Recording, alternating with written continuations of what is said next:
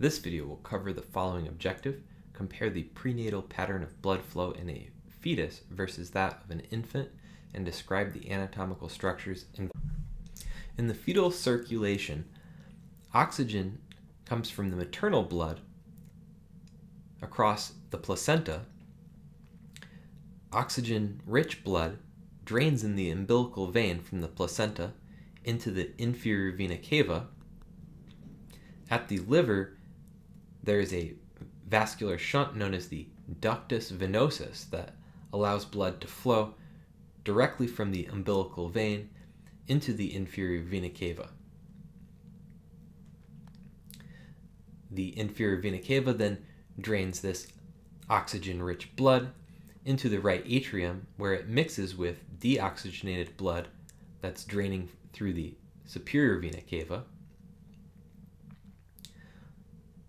Now, the blood has an intermediate concentration in the right atrium, and that blood is forced down into the right ventricle through the tricuspid valve. But at the same time, some of this intermediate oxygen concentration blood moves from the right atrium directly into the left atrium through an opening known as foramen ovale.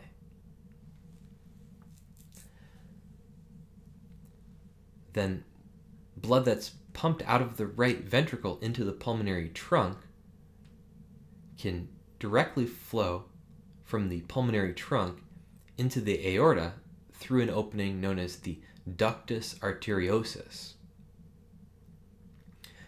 Foramen ovale and ductus arteriosus enable blood to bypass the pulmonary circuit, moving directly into the systemic circuit because the pulmonary circuit does not function for gas exchange until after birth.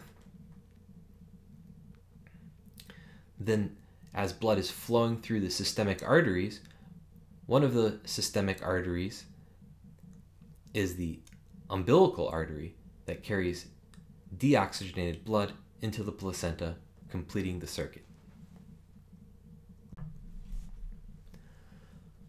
After birth, ductus arteriosus will constrict, allowing the blood that's leaving the right ventricle to travel into the pulmonary arteries to become oxygenated in the lungs. Similarly, the foramen ovale will close after birth, leaving only the small remnant known as fossa ovalis, the indentation in the surface of the right atrium. The umbilical arteries and umbilical veins will also deteriorate after birth.